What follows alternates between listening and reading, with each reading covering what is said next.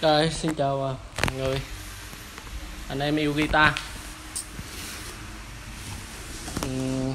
Mình à, vừa thu cây à, guitar nè.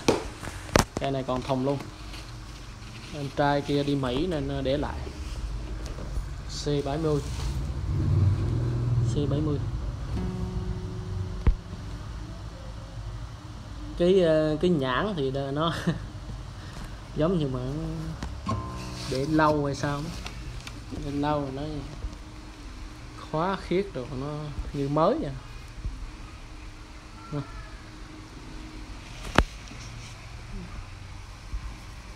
Đóng bụi. Bụi à? mình lau thôi.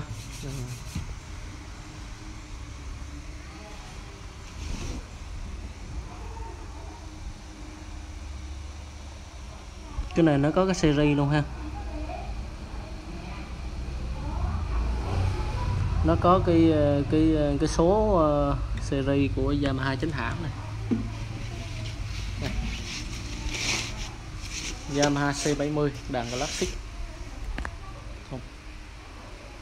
cái này chỗ mình bán ra 2 triệu 2 ha. Rồi, xin cảm ơn này